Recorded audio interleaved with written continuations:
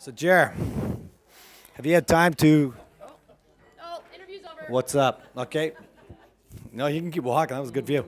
Um, have you had time to contact your lawyer and possibly get a restraining order against Bompy for those uh, sexually inappropriate comments about your bum? I've already done it. Yeah, it's in writing. It's writing. Now you're playing the bomb. You uh, last night took him on in some uh, flip cup.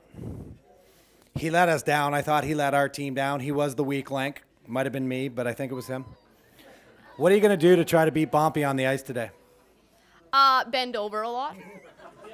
Hey, no, show me, show me again. What are you gonna do? I heard he had to leave during the Kaitlyn interview. I might, uh, wow. So you've been coming here. For those who don't know, Geri-Lynn is a, a five-year skip. Tell us, what are you doing with your team next year? There's been a few changes. What's your team on tour going to be next year? Uh, well, me and Crystal are sticking together. Uh, I would like to see that. uh, uh, yeah. Uh, Jesse Kaufman, throwing the brick, and Becca Konschuh, straight out of juniors.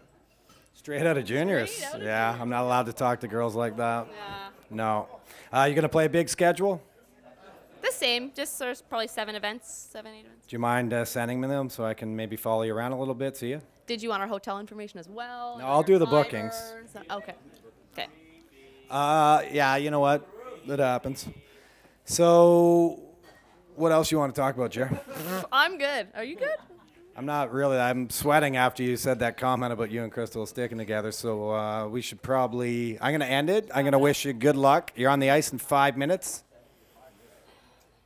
Bottoms up. Bottoms up. Good luck. Yeah.